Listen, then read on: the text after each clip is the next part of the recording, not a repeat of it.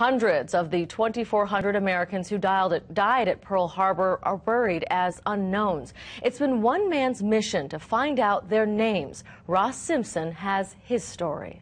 Like many on December 7, 1941, Ray Emory was caught off guard by the Japanese attack on Pearl Harbor. I thought at the time that, uh, you know, that this is really a good mock air raid, don't like that. So I pulled the cover off the, the rest of the way, and about that time another torpedo plane going by, and I saw their big red ball, and then I realized it was the Japanese were attacking Pearl Harbor. The mighty USS Arizona. At the end of the attack, 2,400 Americans were dead. More than one quarter were unidentified. The unknown are buried at the National Cemetery of the Pacific in a volcanic crater known as the Punchbowl. Ray Emory first learned of these graves during a trip to the cemetery shortly before the 50th anniversary of the attack.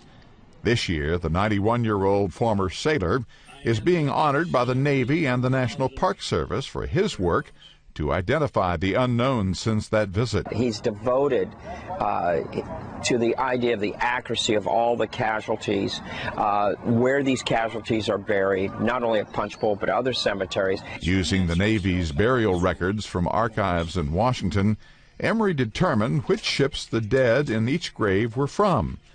Gravestones now show markers for the USS Arizona, USS Oklahoma, and USS West Virginia.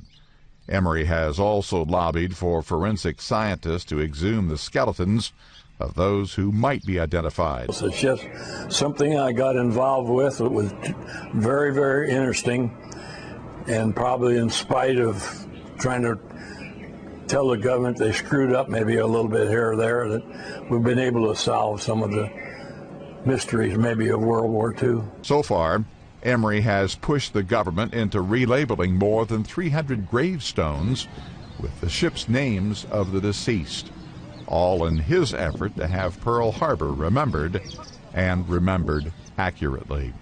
Ross Simpson, The Associated Press.